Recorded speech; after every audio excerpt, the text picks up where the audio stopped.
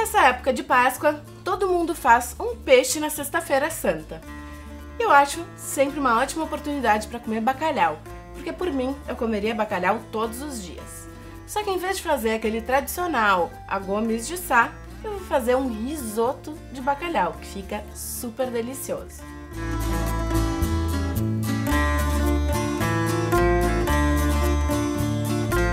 Essa história de demolhar o bacalhau de um dia para o outro eu acho uma perda de tempo.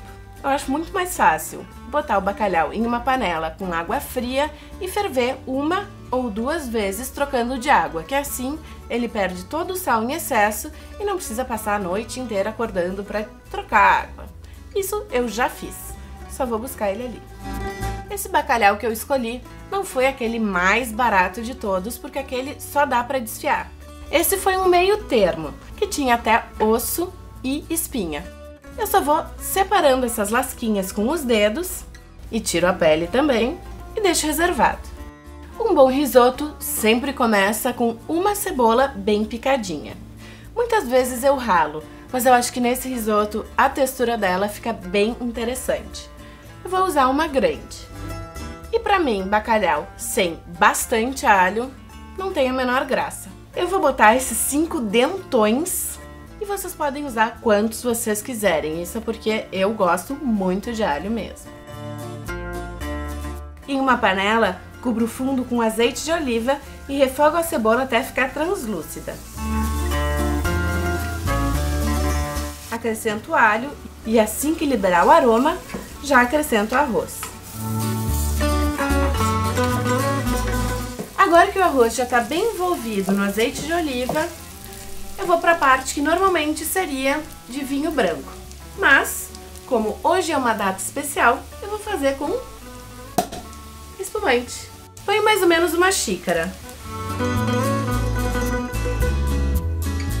Toda a espumante já foi absorvida pelo arroz.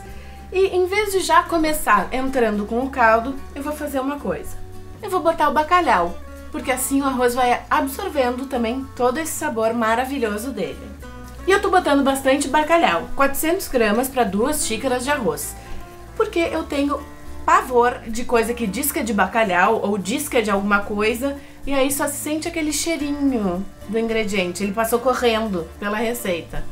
Nessa aqui não tem esse problema. Agora eu vou adicionando o caldo aos poucos, sempre mexendo. Quando ele estiver quase pronto, tempero com pimenta e, se necessário, acerto o sal. Finalizo com bastante salsinha picada e uma boa regada de azeite de oliva extra virgem.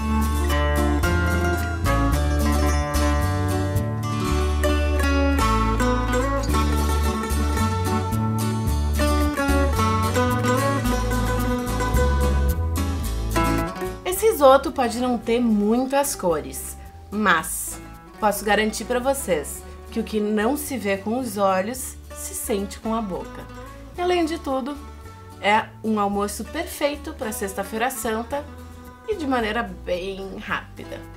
Um beijo e até a próxima!